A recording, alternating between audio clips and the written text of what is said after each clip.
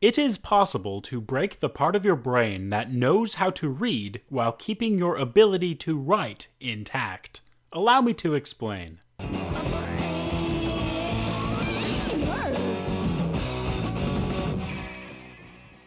Alexia refers to a disorder in which a person loses the ability to read. It can coexist with another disorder called agraphia, which is when a person loses the ability to write. However, what is truly fascinating about alexia is that it can occur on its own while leaving writing intact. In these cases, it is called pure alexia.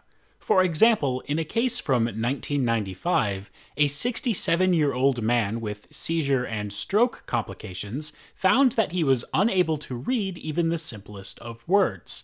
However, his ability to write was intact, albeit with some spelling mistakes, whenever he was asked to write down his own thoughts or when asked to write down sentences spoken out loud by the researcher. But when he was asked to copy over other writing, requiring him to read it, he could only do so by carefully reproducing each letter line by line, much like drawing a picture. This bizarre disorder is always a little bit different for each person that acquires it, but in general, the symptoms follow a pattern.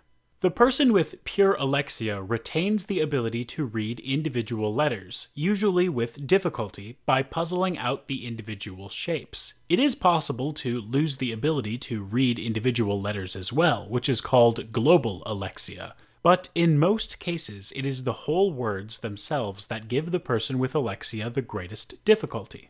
In most people, reading words of different lengths doesn't change the amount of time that it takes to read the words because they are processed as a whole.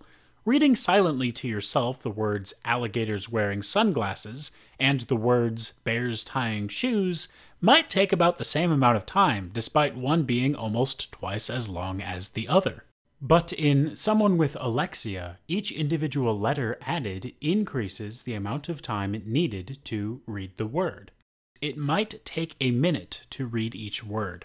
This slow strategy of reading letter by letter allows some people with alexia to make a partial recovery. You may be wondering if alexia affects reading numbers as well, and the answer seems to be yes, but letters seem to cause the most difficulties. Here's where things get really interesting. There are multiple cases in which a person who was multilingual with the ability to read in more than one language acquired alexia and suffered the consequences more so for one language than for another. This has happened, for example, when someone originally from Japan lost his native ability to read Japanese but retained his second reading language of English. Alexia typically results from damage to a specific region of the brain in the left middle fusiform gyrus. Damage to the left side of the brain is typically enough to cause alexia without damage to the right hemisphere. However, it is possible for damage to the right hemisphere to cause alexia as well in rare cases.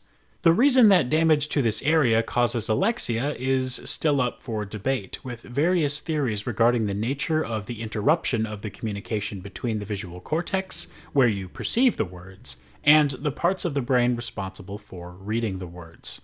Reading is a remarkable ability. Glancing very quickly at a group of connected lines, dots, and loops leads to a remarkably fast transfer of information, as complicated as it is, it makes sense that this is a way that your brain can break.